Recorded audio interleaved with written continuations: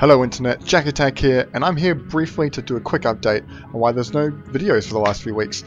Um, but firstly, the gameplay in the background is footage of me playing Atom Zombie Smasher with my mate Larry, and uh, it was awesome fun. You can currently pick it up for a dollar in the Humble Bundle weekly sale, and it's on there for a couple more days, and I highly recommend getting it. You can get it for a dollar, just definitely get it.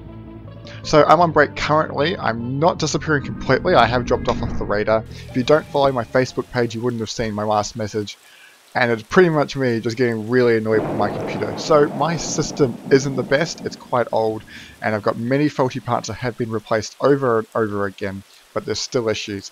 So I get lots of crashes with my computer. I get lots of blue screens. And it happens especially when I'm rendering. Now this is kind of infuriating. the last video which I published, which have been Kerbal Space Program, uh, which has got, got many, many views, which is amazing.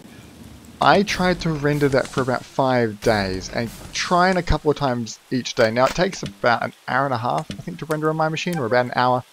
And my computer would blue screen sometimes. It's memory issues. I'm not going to go into the details. I spent about two years trying to fix this machine and this whole system. But you can see if I try day after day to try and render it, it keeps crashing, I can't put up content, I'm getting annoyed, I'm getting stressed, so I just decided to stop for a while. I finally rendered it, I put it up, and I've decided to have a break. Now, I am still playing games, I just haven't dropped off the radar for that, and I'm actually going to keep recording games as well, but I'm just not going to render them yet. I'm going to edit them, so when I get a new machine, I can put them straight up, um, render them hopefully, now the good thing is I will be getting a new machine soon. We don't know exactly when. I'm currently saving for it. I'm expecting it to be later this year, say July, August maybe.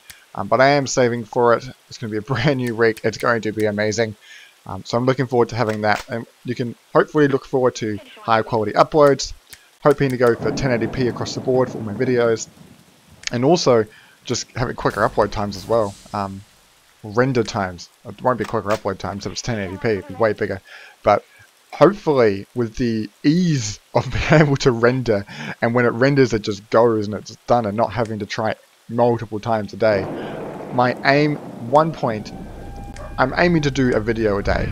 It could be at the end of this year, it might be in a couple of years if I keep up with this hobby, but my goal in the end would be to get a video out probably every day of the week. So I'm aiming for that in the long-term goal, but at the moment, I'm just trying to take a break. I'm just trying to enjoy video games instead of frustratingly trying to get this rendering done.